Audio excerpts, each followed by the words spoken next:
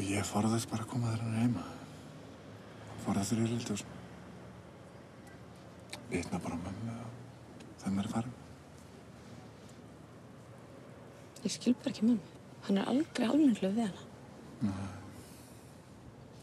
Ég ætlaði ekki að vera vissi hann til. Hann ætlaði þessi árlegi jólakoss.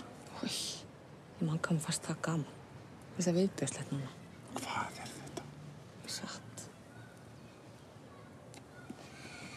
Sko, ekki að ég sé eitthvað að verja. En mamma náttúrulega lítur að hafa sínar ástæður. Heldur það virkilega? Ég veit ekki. Ég vona það. Allavega, þú verður að hætta að jagast svona í henni. Þú ert basically að segja henni að hennar líf sé algjörlega að missa hennar. Það var eitthvað rétt á því. Nei, ég veit það. Ég bara, ég skil ekki. Það er bara sárt að horfa upp á þetta.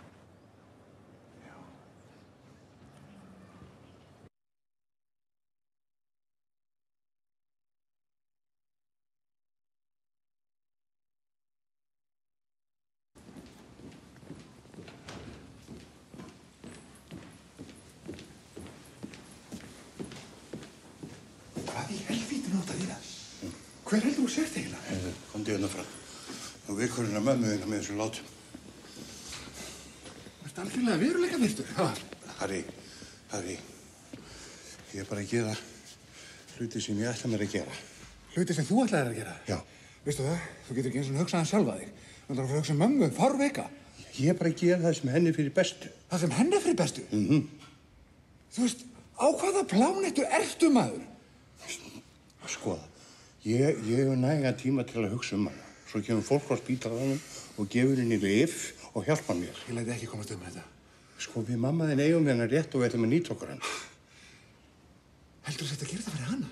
Trúur því virkilega, ha? Þú ert aðeins fyrir sjálfa þig og engan annan. En þú ert með svo mikið samvinskubitt yfir að hafa trafka á henni og okkur öllum öll þessi ár. Þú læti ekki komast um þetta. Skilur það hana, helvítið svíflið þitt.